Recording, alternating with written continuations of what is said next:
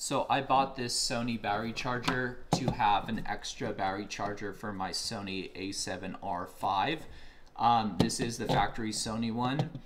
Uh, I decided I wanted a second charger just to charge batteries quicker on the go. So I really love that it is a factory Sony charger, works the same as the one that comes with the camera. However, here's the big difference. For whatever reason, when you order the charger separately from the one that comes with the camera, you get this giant cord instead of the short cord that's about this long that comes with the camera.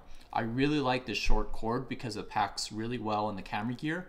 This is so excessive in my opinion. So I love that there's this charger um, and works really well, but for travel and usefulness, this is kind of a letdown. So I would have expected that the cord that comes with it be a really short cord like the one that comes with the camera, considering it's exact same model um, charger as the one that comes with the camera from factory.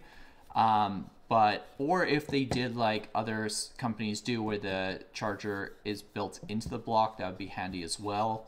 Um, overall, it works really well. It works just the same as the one that comes with the camera. This lights up yellow when you're charging the battery, and this shows you the levels that it's charging at, and then it turns off when it's fully charged. So overall, if you're looking for a replacement charger, go with factory. This is a great option for you.